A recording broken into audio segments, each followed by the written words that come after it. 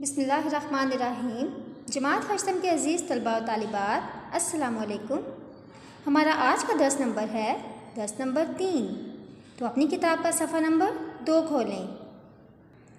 जी अज़ीज़ तलबा, आज हम बंद नंबर तीन और चार की तशरी करेंगे। तो बंद नंबर तीन से शुरू करते हैं। जबकि तूफ़ान का हो सन्नाटा, सख्त अंधियाओं का चले झोंका, जड़ से पेड़ों को दे उखेड़ हवा। मेरे दिल में ना खौफ हो असला, क्योंकि मेरा खुदा है मेरे साथ। पहले मैं आपको मुश्किल अल्फाज लिखवा दूँ। सन्नाटा मुकम्मल खामोशी, अंधियाओ अंधेरा तरीकी। झोंका झोंका मतलब हवा का लहराना, हवा का थपेड़ा। पेड़, दरख्तों की जमा है, पेड़ों हैं तो यहाँ पे दरख्तों। उखेड़ना, उखेड़। उखेड़ क्या होता है? यानी कि ये उखेड़ना से बना है। इसका मतलब है जड़ से निकाल देना।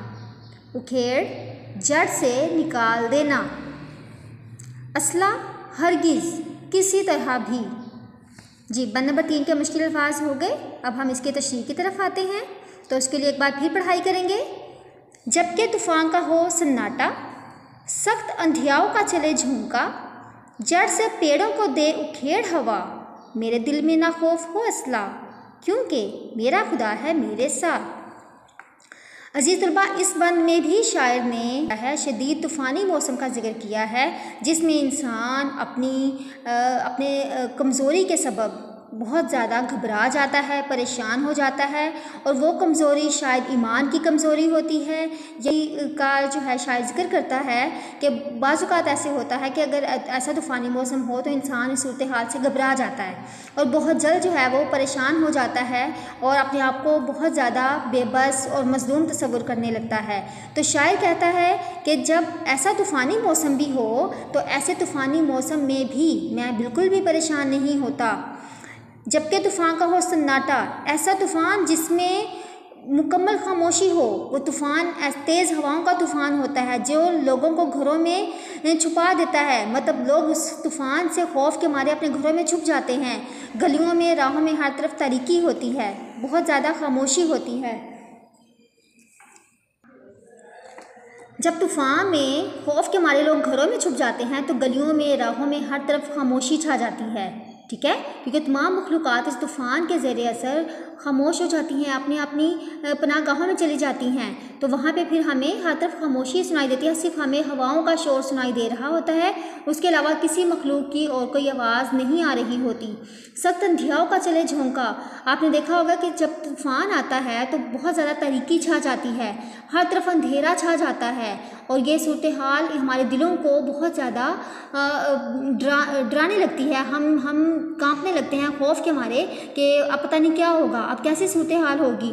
तो ऐसा तूफ़ान जो कि हर तरफ़ अंधेरा ले आए, हर तरफ़ अंधेरा छा जाए, जड़ से पेड़ों को दे उखेड़ हवा, यानी कि ऐसा तूफ़ान जो जड़ों से दरख्तों को उखाड़ दे ऐसी तूफ़ानी हवाएँ जो अपने साथ तबाही लेकर आती हैं, जो अपने साथ बहुत ज़्यादा नुकसान लेकर आती हैं, जो तरह तरह के मखलूक के लिए तरह तरह के नुकसान का बायस बनती हैं तो शायद कहता है कि ऐसा मौसम भी मुझे खौफजदा नहीं कर सकता।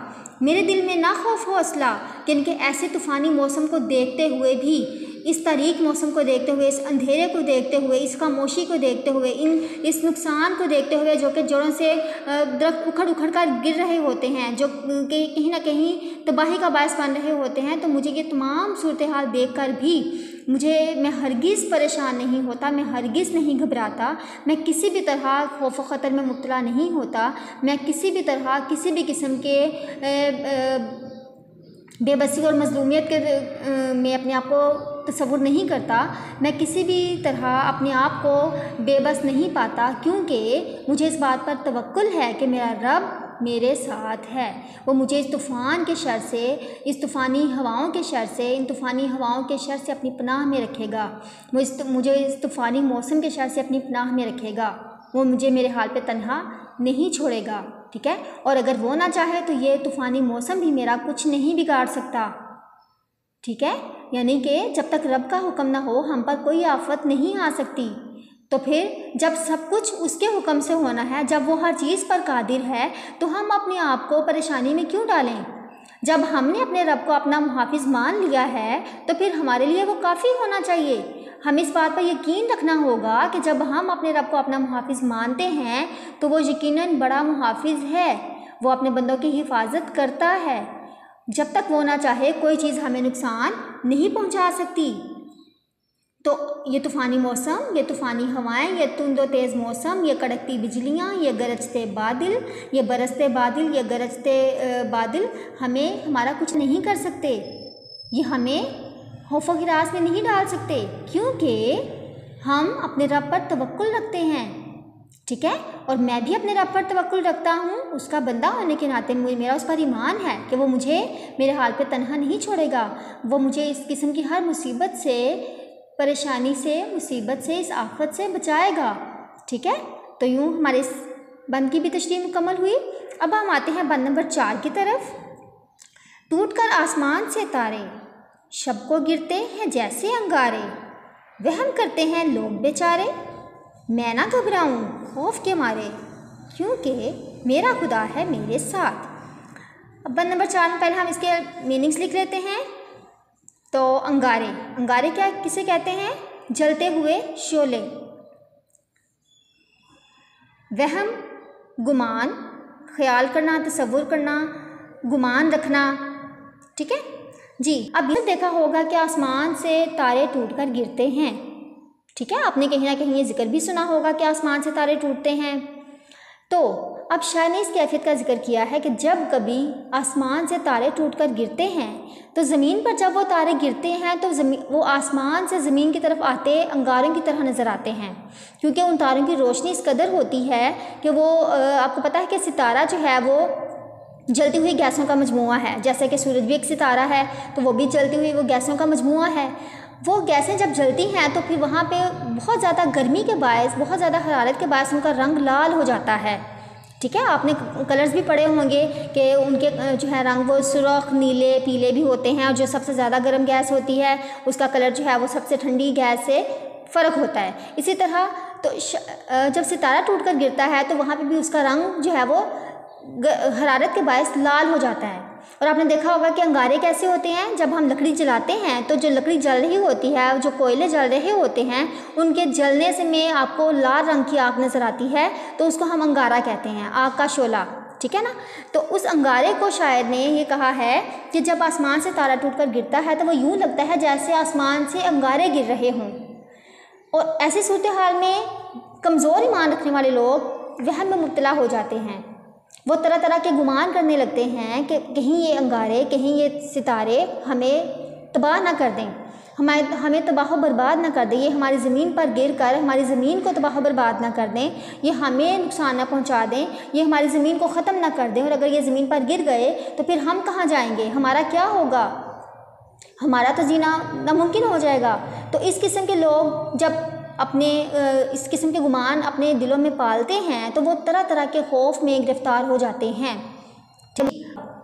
तो शायर कहता है कि इस सूरत हाल में भी जब मैं उन लोगों को देखता हूँ तो उन लोगों को देखने के बाद भी मेरे दिल में ऐसा कोई वहम, ऐसा कोई गुमान पैदा नहीं होता कि जिस तरह ये लोग परेशान हैं तो क्यों ना मैं भी परेशान हो जाऊँ कि वाकई अगर ये मेरे, गिर पड़े तो हमारी ज़मीन का क्या होगा? अगर ज़मीन ना रहेगी तो हम भी ना होंगे। तो शायर कहता है कि मैं इन चीज़ों से परेशान हरगिज़ नहीं होता, क्योंकि मेरा इस बात पर यकीन है, मेरा इस बात पर तवक्ल है कि जब तक मेरा रब ना चाहे ये गिरते सितारे भी मुझे कोई आफत, कोई नुकसान नहीं पहुँचा सकते, ये मुझ पर कोई आफत नहीं ला सकते, ठीक है? अगर ये रब, क्योंकि कायनात की हर चीज़ रब के हुक्म की पाबंद है तो अगर रब ने कुन कह दिया तो ये गिरते सितारे वहीं रुक जाएँगे, ये गिरते अंगारे वहीं ठंडे हो जाएँगे तो ये हमें किसी किस्म का नुकसान नहीं पहुंचाएँगे। लिहाजा मेरे लिए मेरा ईमान, पुख्ता यकीन, पुख्ता भरोसा होना ही काफ़ी है कि मेरी मदद के लिए वो काफ़ी है। वो मुझे नुकसान नहीं पहुंचाएगा। ठीक है बच्चों? तो अब आपको यहाँ पे इस कैफियत की समझ आ गई कि शायर जो है वो किसी भी सूरत हाल में परेशान नहीं होता, क्योंकि उसका हर पल अपने रब पर भरोसा है कि वो उसका मददगार है और वो हर वक्त उसके साथ है। जी तलबा, हमारी बंद नंबर तीन और चार की तशरी मुकम्मल हुई। अब आपने इस तशरी को गौर से सुनकर, इसे अपने अल्फाज में ढाल कर इसे उर्दू के सफ़े पर लिखना है। ठीक है? तब तक अगले लेक्चर तक अपना ख्याल रखिएगा। अल्लाह हाफिज़।